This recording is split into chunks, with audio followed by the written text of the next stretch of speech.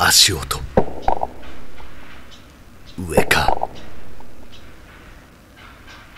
空が見える。木の間を逃げていく。ギリギリ見える。ここか。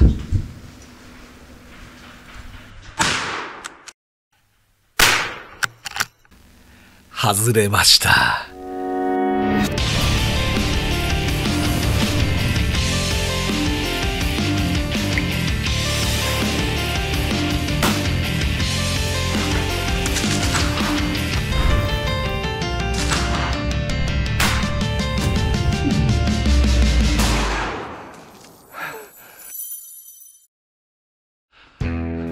今日は巻狩りで辰馬の先頭を歩いています。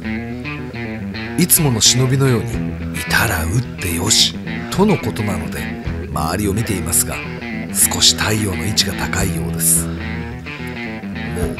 鹿は上の方でしょうね。でね日曜日が仕事で忙しいせいでほとんど忍びばかりの私にとって巻狩りの辰馬はまるで接待を受けているようです。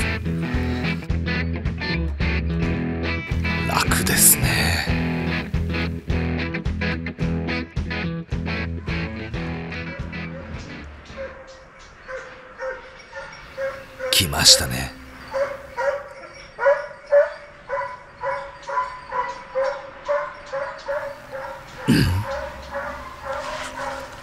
真下を通るか。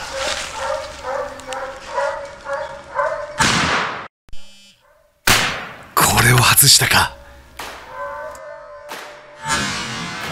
メカニカルオフセット。またか。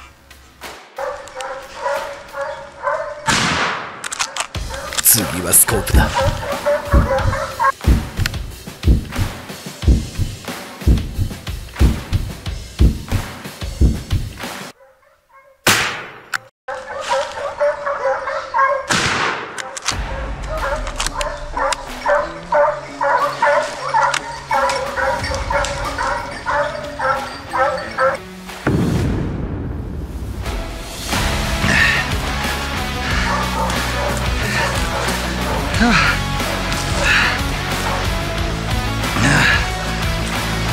よ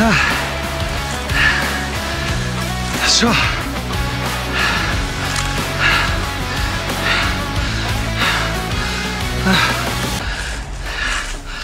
巻き狩りが楽だなんて誰が言ったんでしょうねよっはあ。はあ。あ。とちょっとほうよいしょ抜けた。